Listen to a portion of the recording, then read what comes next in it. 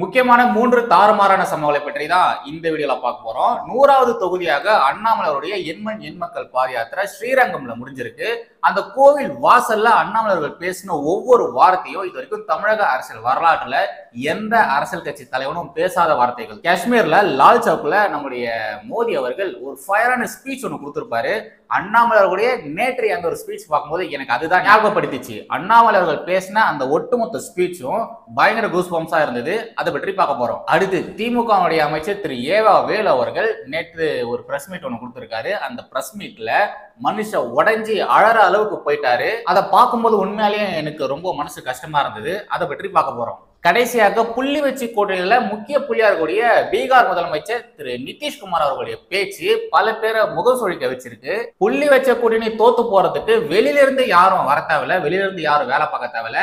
அவங்கள அப்படியே விட்டோம்னு வச்சுக்கோங்களேன் அவங்களா பேசி அவங்களா பிரச்சனை மாட்டிக்கிட்டு அவங்களாவே அந்த கூடையில இருந்து வெளியே போயிடுவாங்க. அப்படிப்பட்ட ஒரு செயலா தான் நிதிஷ்குமார் அவர்கள் பண்ணியிருக்காரு. தவளை தன் வாயால் கெடும்னு சொல்லுவாங்க பாத்தீங்களா?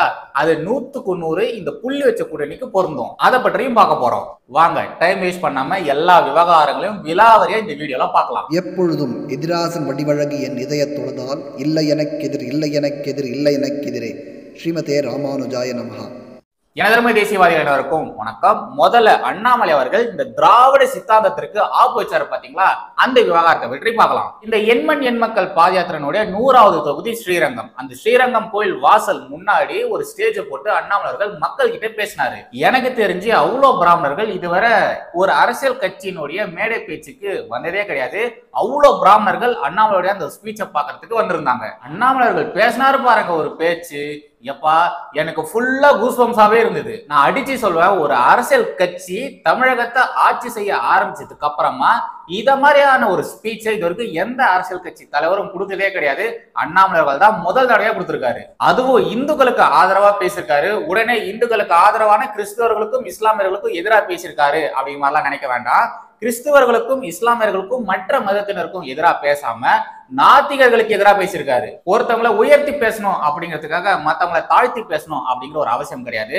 பட் தமிழகத்துல இவ்வளவு நாள் தாழ்த்தி பேசிதான் ஒரு அரசியல் பண்ணிட்டு இருந்தாங்க. பெரியார் சிலை விவகாரம் பெரியார் சிலை கீழே எழுதியிருக்கக்கூடிய விஷயங்கள் முகலாயர்கள் கூட உதயநிதி ஸ்டாலின் அவர்களை கம்பேர் பண்ணி பேசினது ராமர் பற்றி பேசினது அப்புறம் இங்க இருக்கக்கூடிய தற்கொலைகளுக்கும் முட்டாளர்களுக்கும் நான் ஒண்ணு சொல்றேன்னு சொல்லிட்டு ஜெய் ஸ்ரீராம்னு சொன்னது. நாம் இங்க இருக்கக்கூடிய சில முட்டாள்களுக்கு சொல்ல வேண்டும். ஜெய் ஸ்ரீராம்! ஸ்ரீராம்! ஜெய் ஸ்ரீராம்!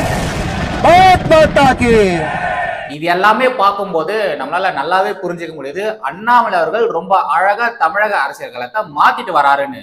மனுஷன் கிரவுண்டுக்கு ஏத்த மாதிரி எல்லாம் ஆடுறது கிடையாது. தனக்கு ஏத்த மாதிரி கிரவுண்ட மாத்துறாரு. நேற்று அண்ணாமலர்கள் பேசினதை பத்தி சொல்லணும்னா சொல்லிட்டே போலாம். முதல்ல மோடியோட ஷேடோ அண்ணாமலர்கள் பேசினதை பாருங்க.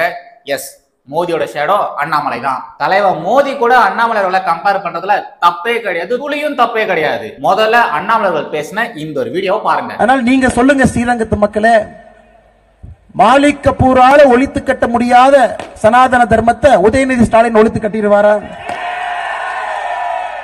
உழுக்கானால உழுக்கானால ஒதி- ஒழித்து கட்ட முடியாத சனாதன தர்மத்தை உதயநிதி ஸ்டாலின் ஒழித்து கட்டி விடுவாரா? முகலாயர்களால் ஒழித்து கட்ட முடியாத சனாதன தர்மத்தை திராவிட முன்னேற்ற கழகம் என்கின்ற கட்சி ஒழித்து கட்டி விடுமா? அப்படிப்பட்ட மண்ணில் இயற்கையாக வந்து நின்று கொண்டிருக்கின்றோம். பன்னிரெண்டாயிரம் வைணவர்கள் தன்னுடைய உயிரை கொடுத்து ரத்தத்தை சிந்தி காப்பாற்றிய சனாதன தர்மத்தை நாம் இன்று கொண்டாடி கொண்டிருக்கின்றோம் சகோதர சகோதரிகள். அது மட்டும் இல்ல ஸ்ரீரங்கம் கோயிலுக்கு இன்னொரு மிகப்பெரிய விசேஷம் இருக்கு. எப்பொழுது மருது சகோதரர்கள் முழுமையாக ஆங்கிலேயர்களை எதிர்க்க வேண்டும் என்று முடிவு கட்டினார்களோ ஜம்பத்தீவு பிரகடனத்தை கொண்டு வந்து இந்த கோயிலுடைய சுவரிலே ஒட்டினார்கள் ஆயிரத்தி எட்நூத்தி ஒண்ணுல ஜூன் பதினாறாம் தேதி ஜம்பத்தீவு பிரகடனத்தை கொண்டு வந்து ஸ்ரீரங்கம் கோயிலினுடைய மதில் சுவரிலே ஒட்டி ஒரு மிகப்பெரிய அறைகூவிலை ஆங்கிலவருக்கு விட்டார்கள் ஜம்பத்தீவு பிரகடனம் இன்னைக்கு தமிழகத்தில் இருக்கக்கூடிய நிறைய சகோதர சகோதரிகள் பேரை மட்டும் கேள்விப்பட்டிருக்கின்றார்கள்.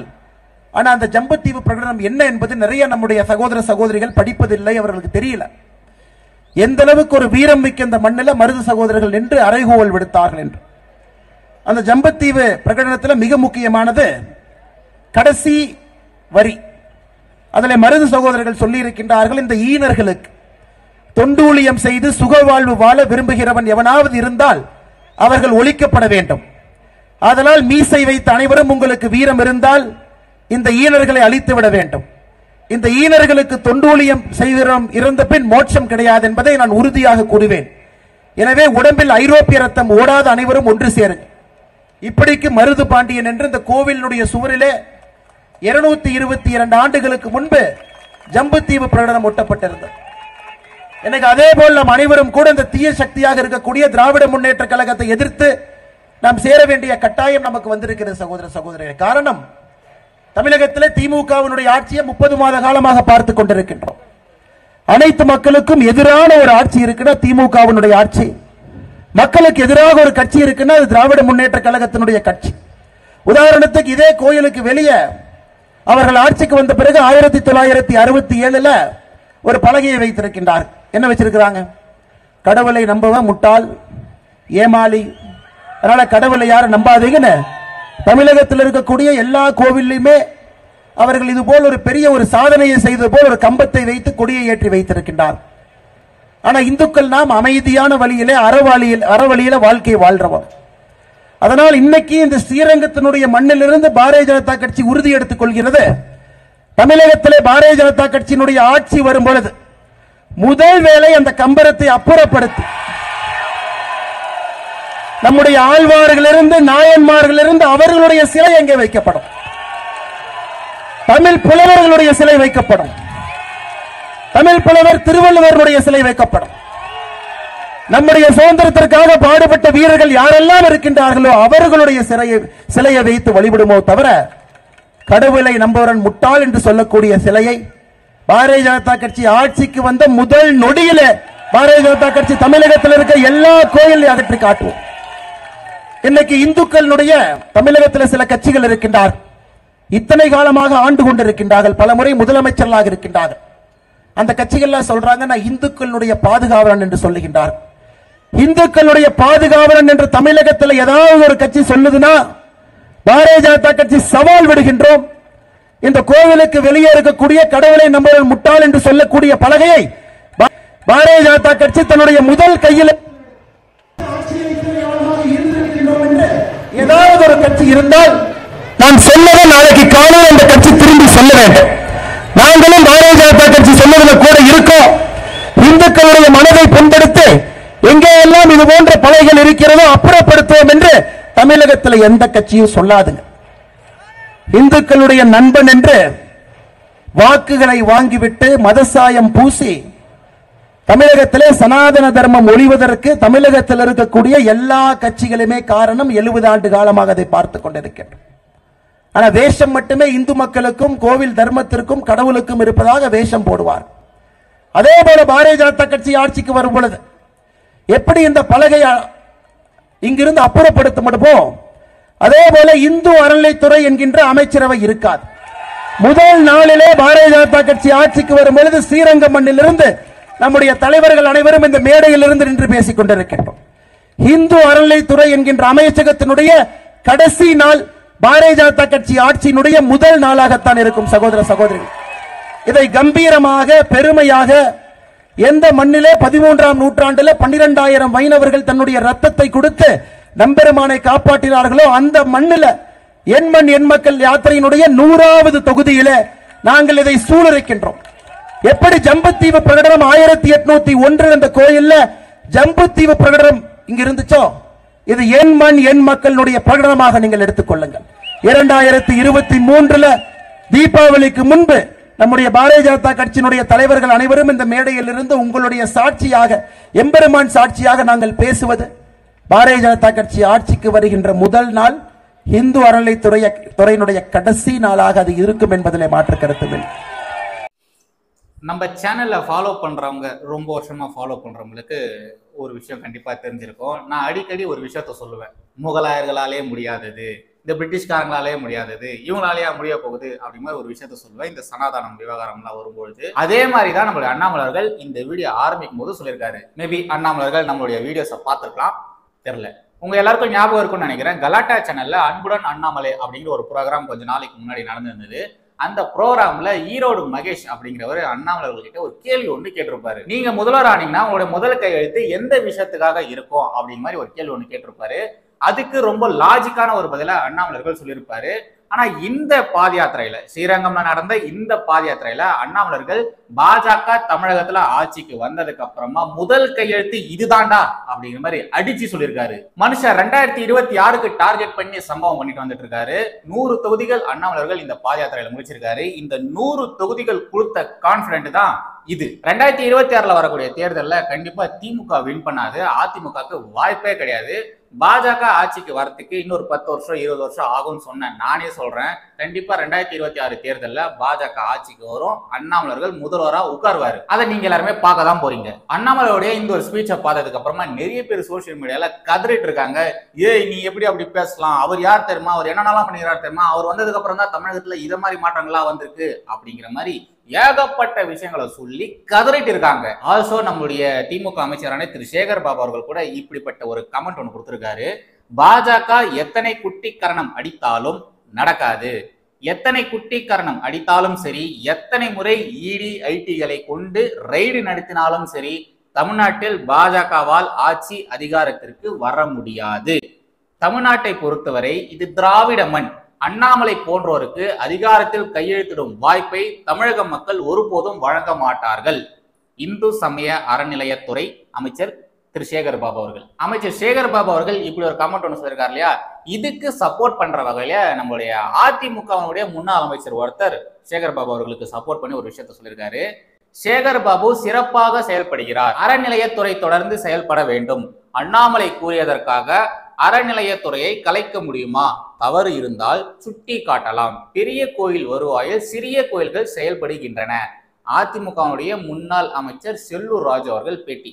திமுகவுக்கு ஒண்ணுன்னா உடனே பாருங்க அதிமுக வந்துடுறாங்க. வெளியில தான் அவங்க சண்டை போட்டுக்கிறாங்களே தவிர உள்ளுக்குள்ள அவங்க எல்லாருமே ஒற்றுமையா தான் இருக்காங்க அப்படிங்கிற மாதிரி நெட்டிசன்கள் பல பேர் இந்த விஷயத்த பார்த்துட்டு பேசிட்டு வந்துட்டு இருக்காங்க. அமைச்சர் சேகர் பாபு அவர்கள்கிட்ட ஒரே ஒரு கேள்வி மட்டும் கேட்க விரும்புறேன். என்னன்னா எத்தனை குட்டி காரணம் அடித்தாலும் சரி எத்தனை முறை இடி ஐடிகளை கொண்டு ரெய்டு நடத்தினாலும் சரி தமிழ்நாட்டில் பாஜகவால் ஆட்சி அதிகாரத்திற்கு வர முடியாது அப்படிங்கிற மாதிரி சொல்லியிருக்காரு இல்லையா? ஓகே உங்களுடைய இந்த ஒரு பார்வையை நான் மதிக்கிறேன். ஆனால் ட்விட்டர்ல ஃபேஸ்புக்ல சின்ன சின்ன கருத்துக்கள் யாராச்சும் தெரிவிச்சா கூட உடனே ஏன் பாஜக காரங்களை கைது செய்றீங்க?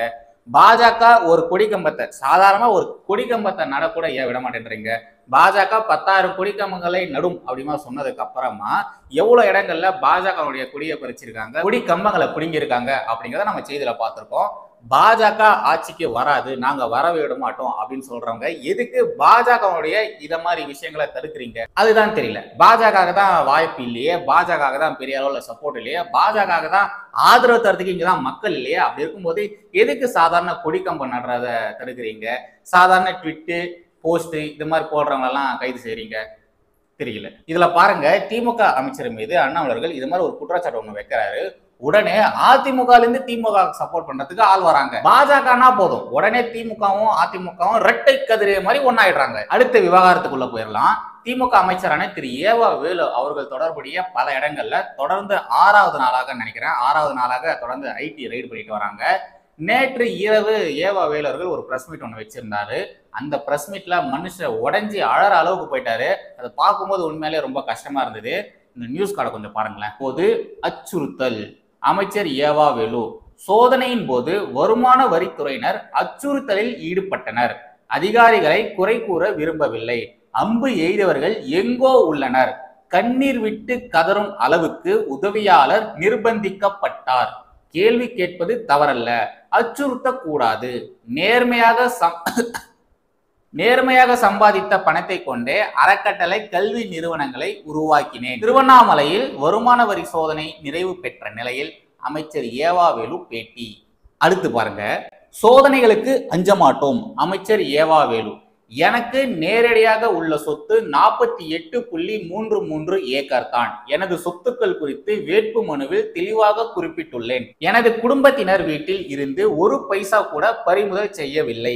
திமுகவினரை குறிவைத்து சோதனை நடத்துவதற்கு அஞ்ச மாட்டோம் Casa Grande Appaswamy real estate நிறுவனங்களுக்கும் எனக்கும் சம்பந்தம் இல்லை. திருவண்ணாமலையில் வருமான வரி சோதனை நிறைவு பெற்ற நிலையில் அமைச்சர் ஏவா அவர்கள் பேட்டி. ம் இன்னும் என்னென்ன ஆக போகுதோ அடுத்து யார் மீது ரைடு பண்ண போறாங்களோ தெரியல. வெயிட் பண்ணி பார்க்கலாம். கடைசியாக புள்ளி வச்ச கூட்டணி பற்றி தான் பார்க்க போறோம். எந்த நேரத்துல இந்த புள்ளி வச்ச கூட்டணியா வச்சாங்கன்னு தெரியல. பாவம் பிரச்சனை மேல பிரச்சனையா வந்துட்டு இருக்கு ஒவ்வொருத்தவங்களும் அடிச்சுக்கிறாங்க. ஒவ்வொரு மாநிலத்திலையும் இந்த புள்ளி வச்ச கூட்டணி கட்சிக்காரங்க இருப்பாங்க பாத்தீங்களா? அவங்களுக்குள்ள ஏகப்பட்ட சண்டைகள் போயிட்டு இருக்கு கடைசியாக அகிலேஷ் யாதவ் அவர்கள் காங்கிரஸ்க்கு எதிராக ஒரு பெரிய சம்பவத்தை ஒன்று பண்ணியிருந்தாரு. இப்ப என்னடானா நிதிஷ்குமார் அவர்கள் சொந்த செலவுல சூனி வச்சுக்கிட்டாரு. மக்கள் தொகை கட்டுப்பாடு குறித்து பேசுறேன் பேரு வழின்னு சொல்லி கண்டமேனுக்கும் பேசி பல பேரை காண்டாக்கியிருக்காரு. அதுவும் ரொம்ப ரொம்ப மோசமா பேசியிருக்காரு. இந்த ஆர்டிகளை கொஞ்சம் பாருங்களேன். பீகார் பெண்களிடம் தற்போது கல்வி அறிவு அதிகரித்து வருகிறது. பெண்கள் படிப்பதன் மூலம் மக்கள் தொகையை கட்டுப்படுத்த முடியும். பெண்கள் திருமணமாகி செல்லும் போது கணவருடன் அடிக்கடி நெருக்கமாக இருக்க வேண்டி இருக்கும். குளிர்காலத்தில் அடிக்கடி நெருக்கமாக இருப்பதால் குழந்தைகள் பிறப்பு அதிகமாக நடக்கிறது. ஒரு முதல்வர் ஒரு மாநிலத்தினுடைய முதல்வர் எப்படி பேசுறார் பாருங்க.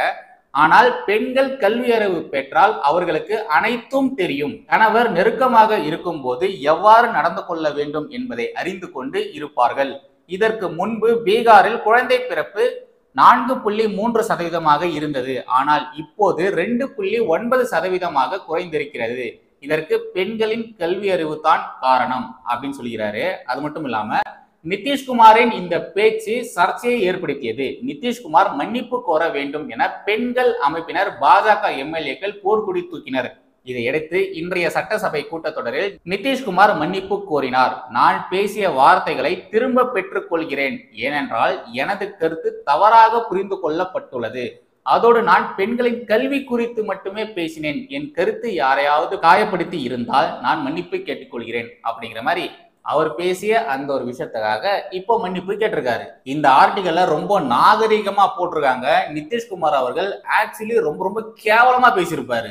அவ்வளோ அநாகரிகமா பேசியிருப்பாரு. எப்படிதான் அது மாதிரிலாம் பேசுறதுக்கு அவருக்கு தோணுதுன்னு தெரியல. எப்படி இது மாதிரி பேசுறதுக்கு வாய் வருதுன்னு தெரியல. உங்களுக்கு டைம் இருந்ததுன்னா நீங்க ட்விட்டர்ல இருந்தீங்கன்னா அண்ணாமலை அவர்கள் அவர் பேசின அந்த ஒரு வீடியோவை தமிழ் சப்டைட்டில் போட்டு ரிலீஸ் பண்ணியிருப்பாரு.